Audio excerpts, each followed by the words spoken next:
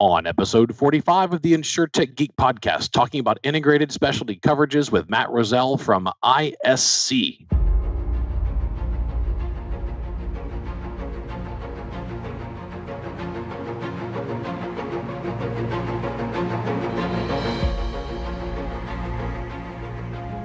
The InsurTech Geek podcast, powered by JBKnowledge, is all about technology that's transforming and disrupting the insurance world. We'll be interviewing guests and doing deep dives into specific tech we see changing the industry. We're taking you on a journey through insurance tech, so enjoy the ride and geek out.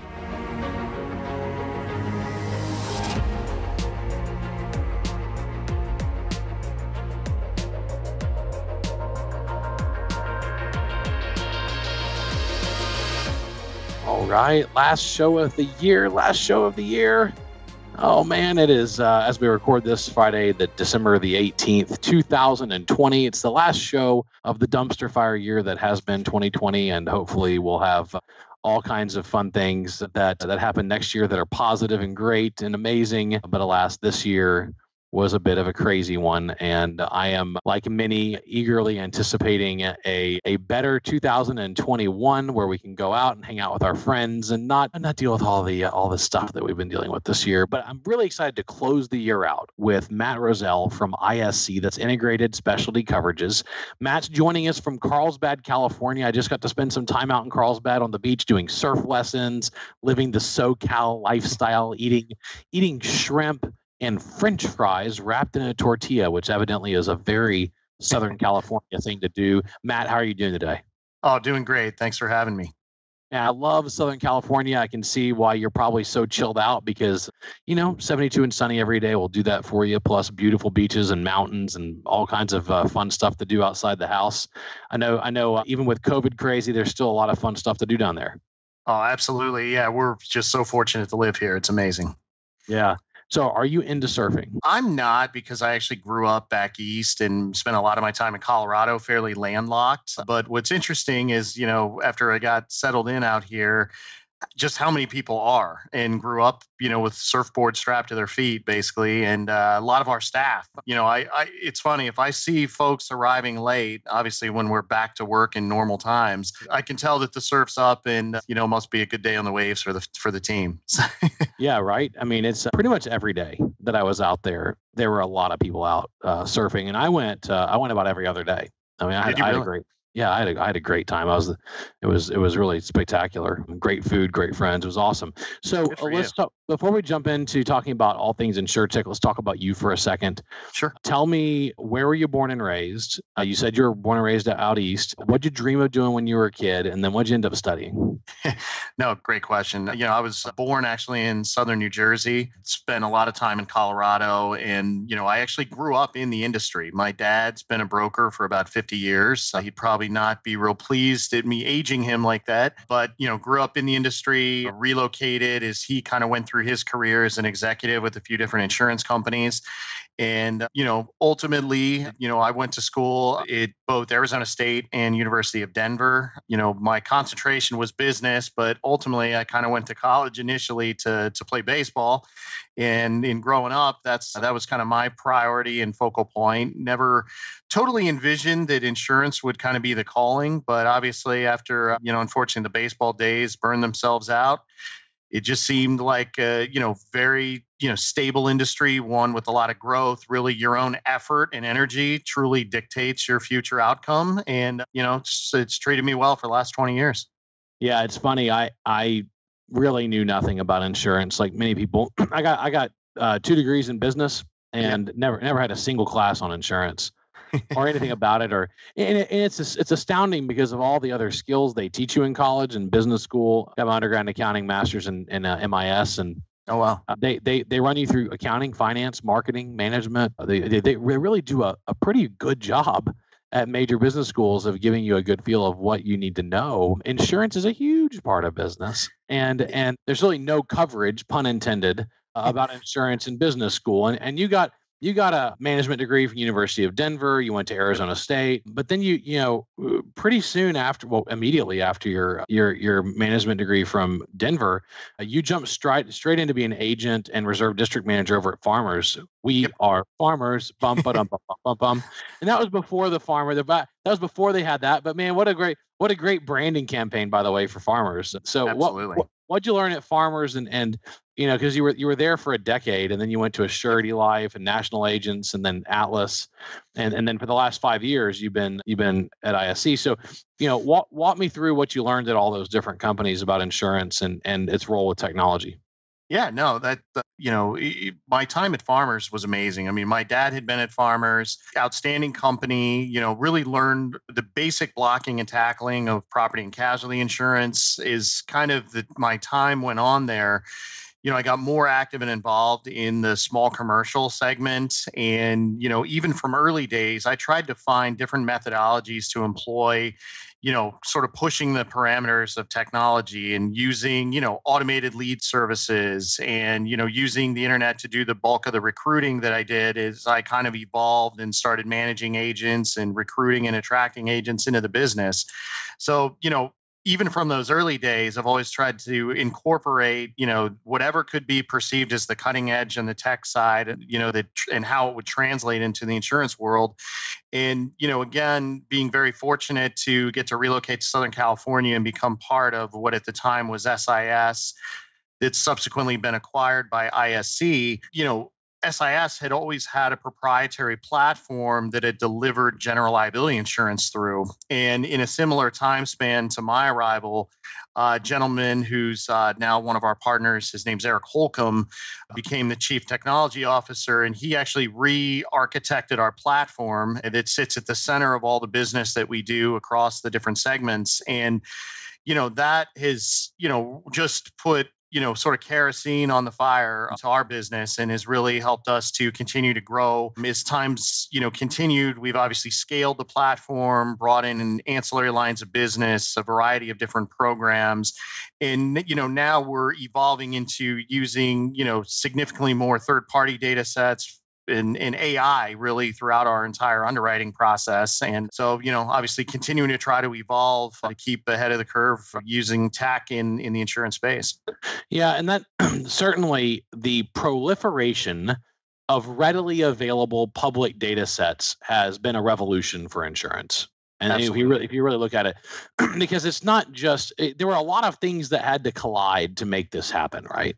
I mean, you had first off, you had to have the cloud talking about the, the, the, very first company that used the phrase cloud was uh, I think it was called FireCloud back in 2000. So 20 years ago, this concept of shared infrastructure comes out, and then you have to get APIs. Then you have to get then you have to get people just aggregating data in you had to have non-structured data storage too because like not everything fits in a relational database when you're storing like exabytes of data and, yes. and, so there's there's like all this foundational technology that has to get established before you can actually get to the point where all of us can tap tap into multi-exabyte data on on all these different industries i mean just the the, the data on addresses is incredible. And then the data on every vin on a car is available. And you know you just think about all the stuff people can own that they're going to insure. Now you have these massive databases. I'm a pilot so the database of every airplane and who owns it and the, the specs on that airplane and what's involved and you know integration with vref the valuation system. There's all these data sets now that you can pull in. So when you when you run through underwriting now you're seeing it's going contacting data sources and it's like 28 of them. you know, it's like it's like, oh my gosh. I mean, it's a, it's really a revolution. I feel like we kind of jumped the the shark a little bit. I mean, what's the elevator pitch on ISC? Like, if you had to sum it up in a sentence in an elevator for somebody, what what is it? You know, ISC is truly an insure tech company, you know, program administrator in the small commercial line space, focused on currently, you know, small contractors, long haul trucking, hospitality, and property. You know, that I would say is the best, you know, kind of snapshot and, you know, delivering all of that through, you know, first in class or best in class technology. That's awesome. And some of your clients are getting pummeled right now. Some are not. Some are actually really, really, really busy. Truckers are really busy. Really, oh, yeah because they're hauling a lot of packages now. Delivery services are really busy. You know, it's it's interesting how it's like a you know the economy's a balloon. Squeeze one in and pushes out another, right? So have you have you had to have you had to do work this year to to rethink your business model or the data sources you tap into, the metrics that you use because COVID has so exacerbated certain parts of the economy? You know, eh, we we certainly have. I mean, obviously we've continued to add a variety of different data sources and you know somewhat contemplative and dependent upon which segment of the you know different programs that we have. So looking at it, you know, in the, you know, trucking space, we've added a couple few different other third-party data validation points. And again, we've been fortunate to be availed additional capacity this year. And uh, like you mentioned, it's we've seen significant growth in that vertical, but when that growth comes regardless of the industry segment, you know you often have to be you know overly concerned about what potential losses you know could arise. So obviously that third party data accumulation validation you know better and in articulating that to the underwriting team more effectively have been a lot of the you know elements that have centered around that particular segment that we're in you know we've launched a couple property programs this year again you you talked about the the you know readily accessible amounts of public data Granted, for the most part, that's sort of consumer oriented. So in the small business segment, it can sometimes be a little bit more difficult to obtain. But you know, nowadays, if you just put an address in, you get about 900 different data points that you can use to both underwrite and rate a risk. You know, our small contractor segment kind of remains our sort of largest segment that we insure. And while you know there was some disruption early on from COVID, you know that is coming back, and and we're seeing steady growth in, in the back half of the year. But again, too, with with growth, you obviously have all of the profit control and the different underwriting mechanisms that you need to employ. So we've, you know, really rolled up our sleeves on our own internal data science to really study and model and predict you know various loss outcomes and we utilize an ai bot that you know obviously decisions the business and are you know and that ultimately is helping us drive you know loss ratios that outperform the industry I mean, is it AI or is it AI? Like, is it, it's not it's not just a giant if then conditional statement, right? You know, we've evolved it from that into more true AI. So initially, it started off as very rules based decisioning engine. You know, if this, then that you know, and, and obviously we started to prove and get more creative data and validation of the bot and sort of the decisioning capabilities, what the outcomes would be. And, and obviously, in certain lines of business, you don't really see the loss development until a longer period of time, especially general liability, you know, casualty business. But you can follow predictive indicators to start to see changes in submission flows and volumes. And so we've, you know, done a huge you know undertaking and investment within our data science group and team and you know have launched some different ai modules and bots that it, you know again are allowing us from a underwriting selection and sort of pricing you know segmentation capability to really continue to evolve. And we've you know we're in early days of employing true machine learning so that we can have you know more you know more price optimization across the entire portfolio. Yeah that's and that's really where you're trying to do is like optimize price for the actual risk right? I mean for the last let's see since the coffee shop in london right? And really since the bottomry contracts with the ancient Babylonians. Let's go super old school. Insurance has really been about just pooling risk and making your best assessment at assigning a value to a potential insured, but knowing that you're really it's hard to measure the the individual risk at the individual insured level you're just looking at your pool right and we're really getting into a kind of a different kind of insurance now we can track so much information that we're we're we're really tapping in like a, like an auto you know when, when we're getting into driving patterns and habits and OnStar has a partnership with Progressive and so you don't even have to install anything you just connect your two accounts and now Progressive yeah. knows ev- everywhere you drive and how you drive, and how you brake, and how you start and stop, and they give you a score, and then they change your rating. It's it's really a total totally different type of underwriting. And the same thing if you can track in work comp, and I, I'm I'm very very very involved in the construction industries, so okay. we can we can speak about you know work comp for construction and let's say you you know you've got some really nice machine learning systems like SmartVid that are tracking SmartVid IO that actually tracks worker activity and movement and can measure yep. PPE compliance rates on the job site. Uh, that changes how you rate a work comp policy, right? If no one's wearing PPE, then all of a sudden you got to change the rating. And we've never really had access to that before. Absolutely, absolutely. It's it's quite remarkable, and and you know you kind of went down the path of workers comp. And you know you think about what are the appropriate job movements that one could be following and kind of what falls within and, and outside of the parameters. And obviously most typically from what our experience has been in the small contractor segment is you know it's when folks push the envelope a little too much and are working at height or depth that they shouldn't be or taking an inappropriate angle when when performing a certain type of work that obviously again too if you can incorporate pricing or some sort of warning system about that as early as possible obviously you're going to curtail or mitigate what the potential for loss would be. Hopefully. Yeah. let's talk let's talk about the insurance market this year because it's a wacky year. Markets have hardened up. Reinsurance is like uh, in particular around property, a hurricane. Uh, you have, you, you, we got through ha- halfway through the Greek alphabet on our hurricanes, and the, the reinsurance market is totally hardened up. What are you seeing happening in insurance right now in, in the markets? What do you see happening in 21, and how can tech play a role in mitigating some of this? You know, I, I would concur 100%. I mean, a significant hardening is what we're experiencing. We're also seeing that, you know, the reinsurance community, and we're fortunate that, you know, we've built long term viable partnerships with, you know, in the neighborhood of about 30 different reinsurers. But, you know, many of them, obviously, whether it's casualty focused or property focused, have just, you know had battles with overall profitability and you know we're seeing that the terms that are being put forth are you know a little bit more restrictive or limited or they're you know looking at caps to be in place you know for loss and and limits to ECO and XPL cover. You know a lot of folks are constrained by the amount of capacity that they're able to come up with for the upcoming year. So you know certainly seeing that that sort of reinsurance pressure is obviously you know passing itself down through the entire value chain and you know looking at it from a pricing perspective too you know you're you're getting a significantly higher you know premium per exposure whether it's in the construction space or per power unit in the trucking segment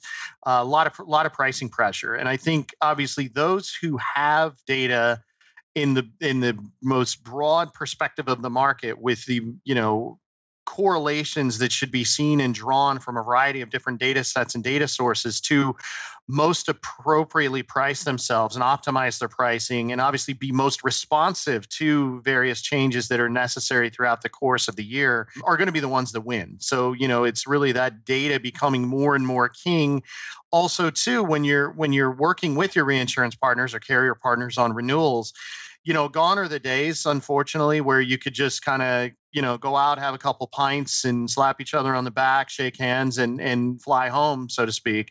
You know, one, unfortunately, we can't have that sort of face-to-face interaction, but you know, more and more the you, you know, sheer volumes of data and how they're looking at their business as a as a partner who's uh, obviously on the risk-taking side and how you need to be looking at the business and then presenting them with the data, you know, it, it's it's only getting you know more and more complex and obviously having you know that sort of insight and visibility across you know your entire portfolio of products or programs is is just absolutely paramount and and very much a reason why we've invested so significantly in our data science team and kind of having the AI at the heart of our proprietary tech platform. So let's let's talk about that. What does the investment actually look like? I, I mean, real really, have, have, you brought all this in house? Are you working with some key tech partners? I mean, what what what does this look like?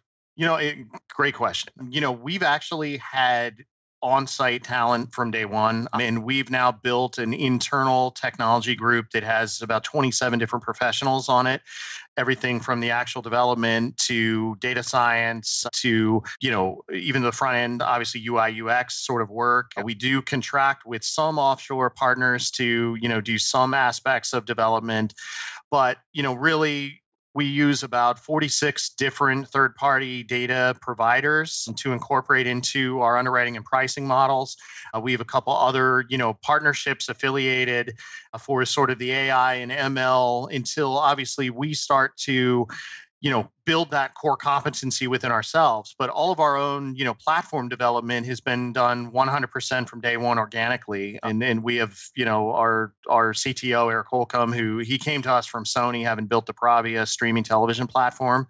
Uh, so you know he's kind of built out his team to give you know to give us a unique advantage and sort of a better you know responsive capability of deploying you know tech resources when we're launching products programs or even making small enhancements or feature set changes did it take a did it take a, a massive change in budgeting for IT, or did it, did you have to redirect the existing resources? A lot of a lot of insurance executives wonder exactly what it takes. Like, do I have to double my IT budget, or do you have to redirect your IT budget, or do you you know? And there's a lot of insurance companies who just outsource everything. They don't do anything. I mean, I mean by outsource everything, I mean they, don't have servers. They just they just use vendors, and they don't even have like a professional services partner. They just they don't want to touch it. That that's obviously not the case. You're obviously very very hands on. You know what what kind of commitment did it take to actually get that done? You know, it, it's been fairly significant, but really it's come down to just just human capital and obviously significant investment into you know finding the right leadership,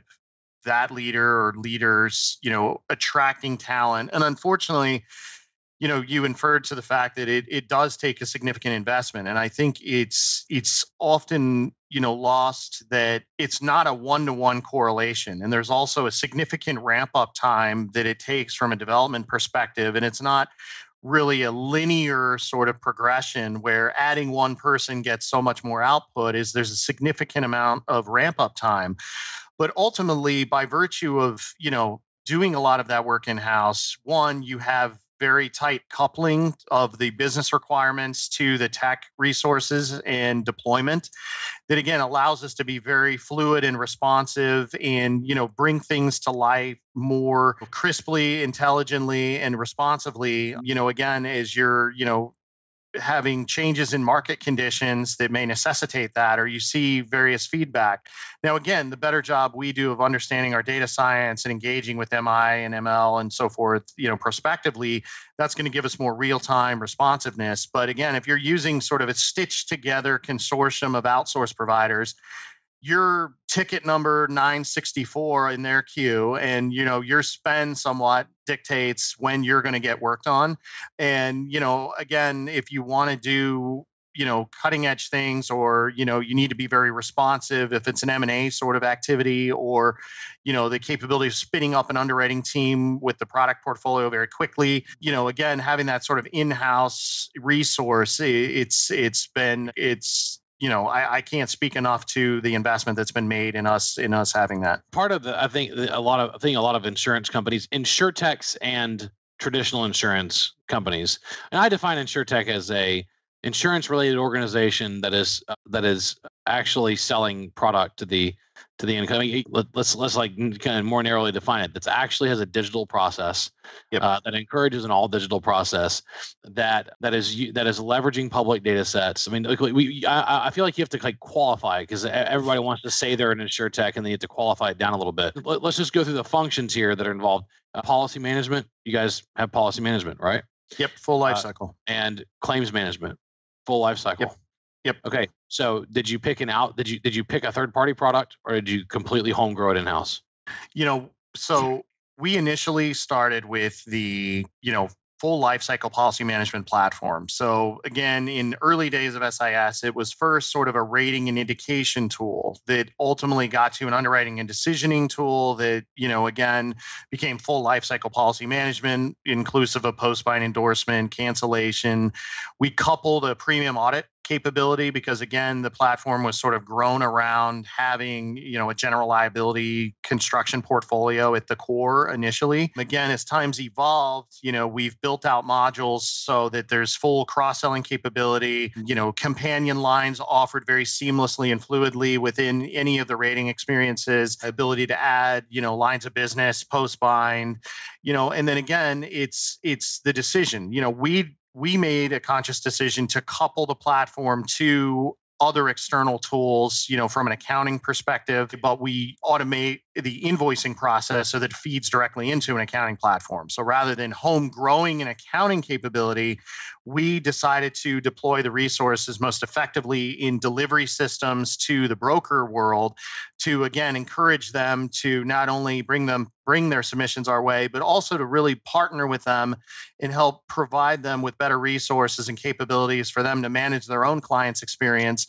so things like you know customized proposals and you know branded apps branded paperwork uh, you know you know coupled premium finance partner integrations you know all of that that they can you know look and feel like they're the ones who've built these proprietary sort of technologies and then can you know deliver you know the products to their own consumer. We're just trying to enable that as seamlessly as possible through the tech. All right. So why do you call yourself an insurtech is that because you have heavily leveraged machine learning and artificial intelligence and you're delivering a completely digital life cycle for your policy and, and your claims process i mean what what how do you feel that really you know, on that, that that that definition. You hit a very valid point earlier. Is that the word insuretech's getting thrown around a little too much and yeah. you know i see that even with carriers who just have sort of a back end portal that you can enter business into and amazingly get a policy you know mailed to you uh, you know two weeks later yeah. you know with us it's it is that full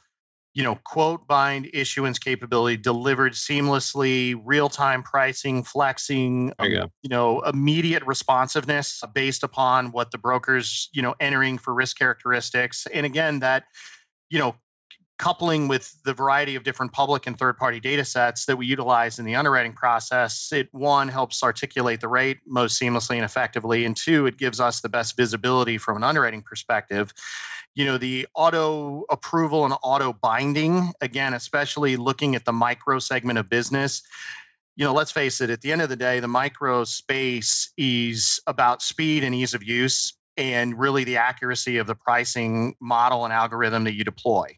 So for us, you know, sort of having that seamless integration capability and delivery of a price that again we're capturing all the appropriate information to underwrite the account you know, we auto approve north of 50% of all the accounts using our AI. And that in turn, you know, gives us, you know, at worst, a better insight into the underwriting perspective so that, eh, you know, for those that don't fall within the auto approval appetite, we cue the underwriter in specifically as to what they need to review and look for so that they can you know, be as responsive and as fast as humanly possible which has really again helped us scale you know our operation without having to add a you know sort of a you know linear amount of headcount as as the programs have grown and expanded and with you know integrated tools for dig- digital signatures and or you know we want a live app in in in the 2021 timeframe that again all of those can be delivered seamlessly. And again i would say that kind of fits that insure tech definition is who is your end client? Our end client happens to be brokers today and we're making delivery systems that enables them to more effectively run their business and issue policies in the matter of minutes. So that that i would say is is kind of where my definition of calling ourselves an insure tech would fall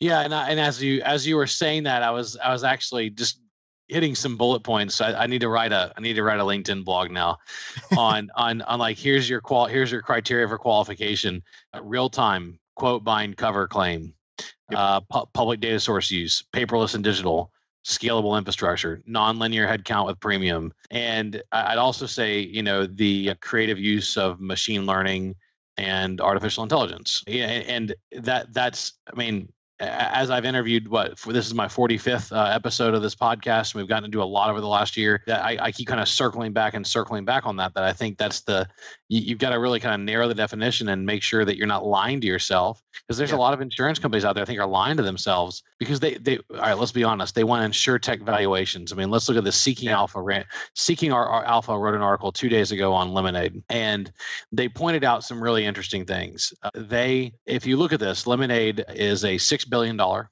valuation company that has booked 10.5 million of net earned premium. That would put their annualized price to premium multiple at 143x. For uh, and and they say for reference, Progressive trades at 1.4x yeah. annualized annualized Q3 net earned premiums. So it's unbelievable. So one of these things is called an insurtech, and it has a hundred times the uh, annualized price to premium multiple of a mainline solid carrier. And I, I think you would have to, I think you would have to call Progressive very progressive. I mean, this is the firm that's pi- pioneering the use of real time data for automa- or for automotive, right? I mean, they're Absolutely. They're, they're way out on bleeding edge with with with using data, right?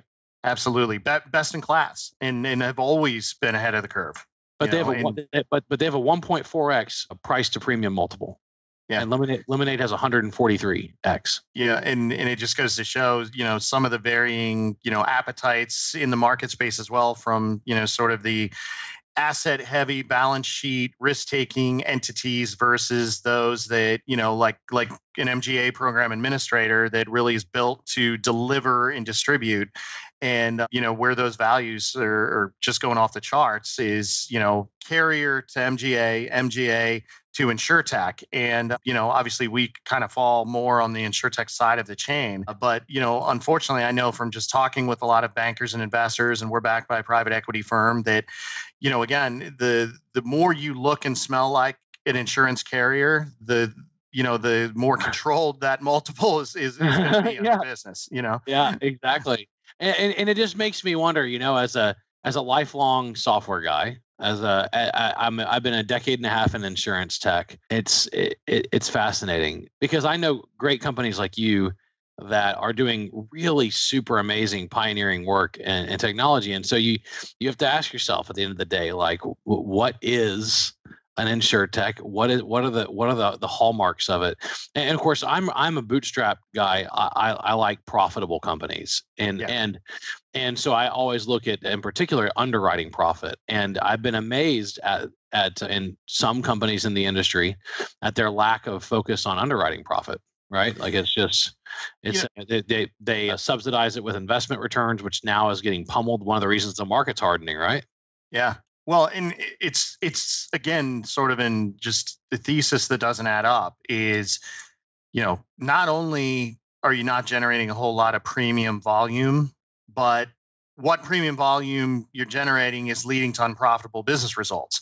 So, yep. you know, that sort of divergence or intersection at worst where you know profitability from a risk taker's perspective is coupled with profitability from an investment return perspective you know in in again these valuations where you see again, uh, you you mentioned the sort of the ratio being 160. It's just unbelievable that you know a lot of longer term carriers now have market cap significantly below you know where some of these insurtech valuations are headed. Yeah, and so we're gonna have there, there's gonna at some point there's gonna have to be a reckoning of some sort, right? I, either the insurtechs are gonna have to deliver rampant profit and revenue growth to justify because you know large valuations are really centered around growth expectations right all day long Yes, if you're not growing, you don't have a lot of value in the private equity or the public markets. And if Correct. you are growing rapidly, but that growth hinges on an expectation that one day you'll be profitable.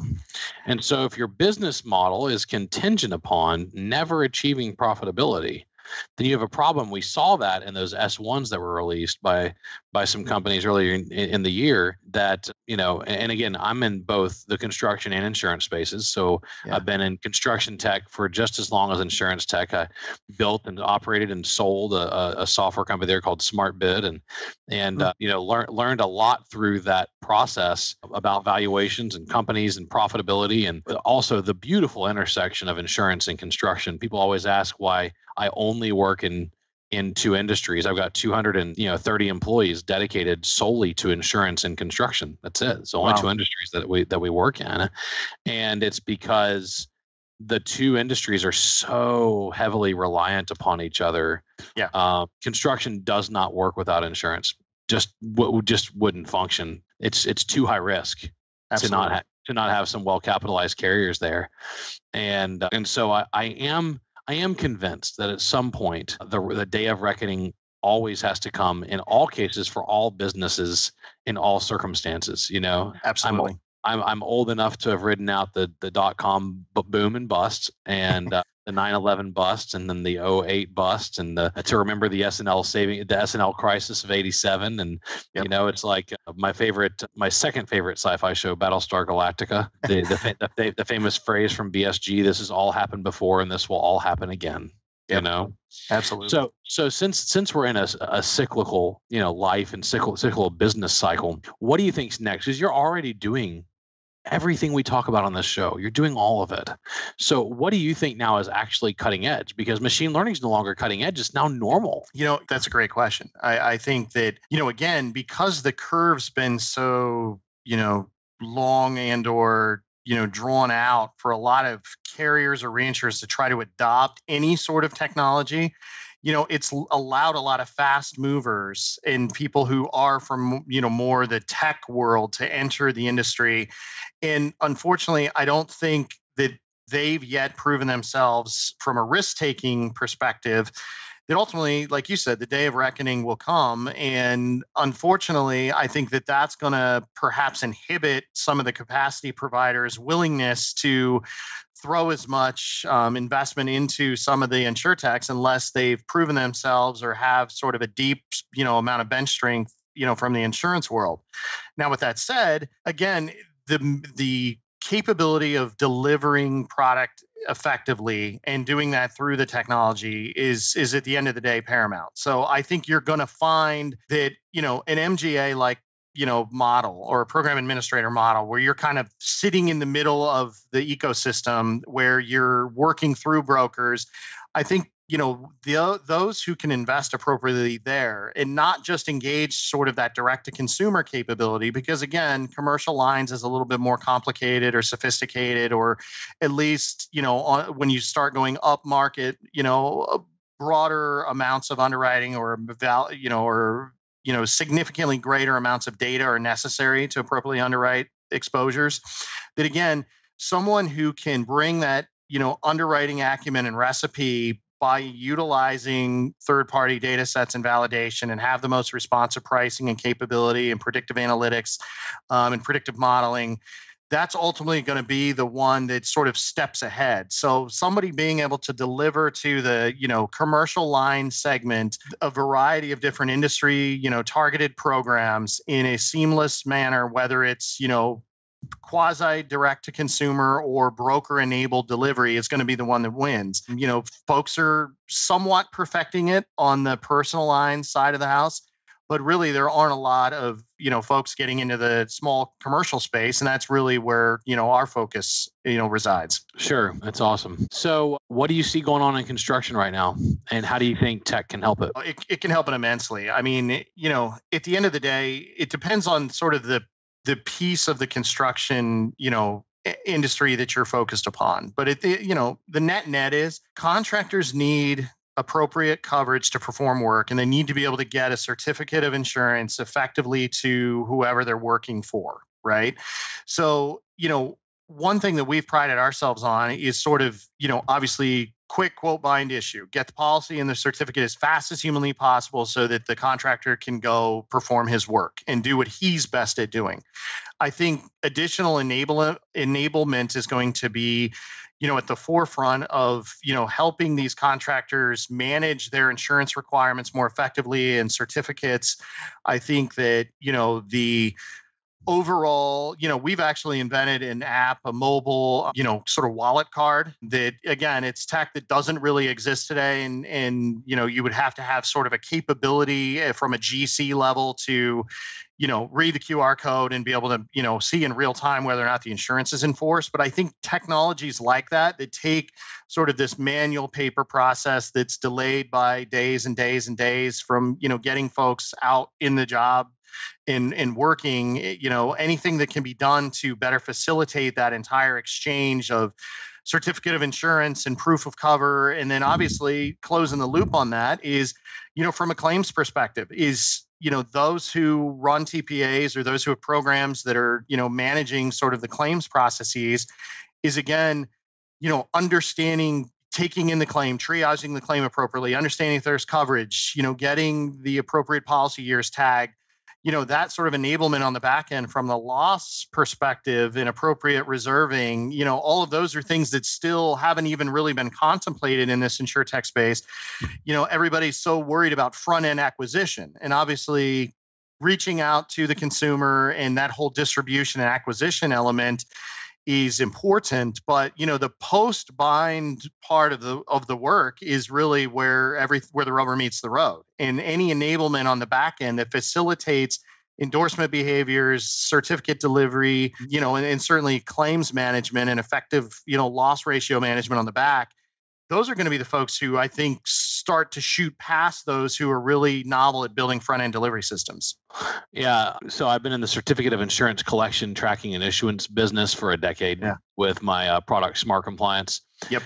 And I, I, keep just saying, this is insane. This is insane. We're, we're using static documents to define a dynamic variable, right? Whether or not you have insurance in force is dynamic. That changes yeah. every day by the minute. by the by the minute.